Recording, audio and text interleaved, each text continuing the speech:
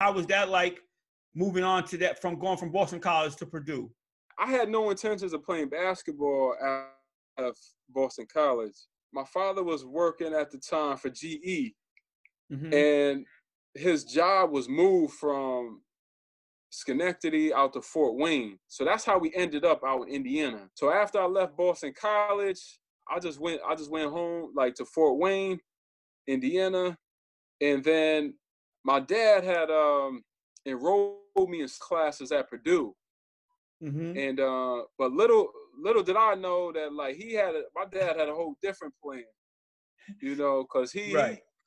he had already spoke to uh, the the assistant at the time. His name was Frank Kendricks.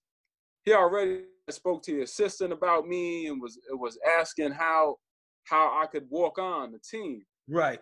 I, I didn't know anything about any wow. of this. You know, so so um so I'm going to classes and stuff and and um I think I take two classes over the summer. I meet a couple of the guys on the team, Mike Robinson, Jaraan Cornell, Brian Cardinal, Carson Cunningham.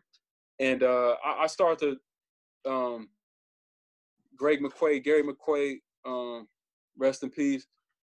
But uh, I, I start to establish relationships with, with people on the team and, and also in the in the co-rec, um, very good friend of mine, um, young lady won at every level, Ukari Figgs. And um, so I, I started I started forming relationships with them and started started playing um, in in Mackey and and in the in the co-rec where where the everybody from the school plays, and um, so I, word just started to travel like, yo, there's this guy came here from New York and and people just started to to see that you know that I could play and they would they just start asking questions and then I, I would just get invited to different places to play and and then I started playing against some of the guys at Purdue and uh, I got called into the office one time by uh, Frank Kendricks.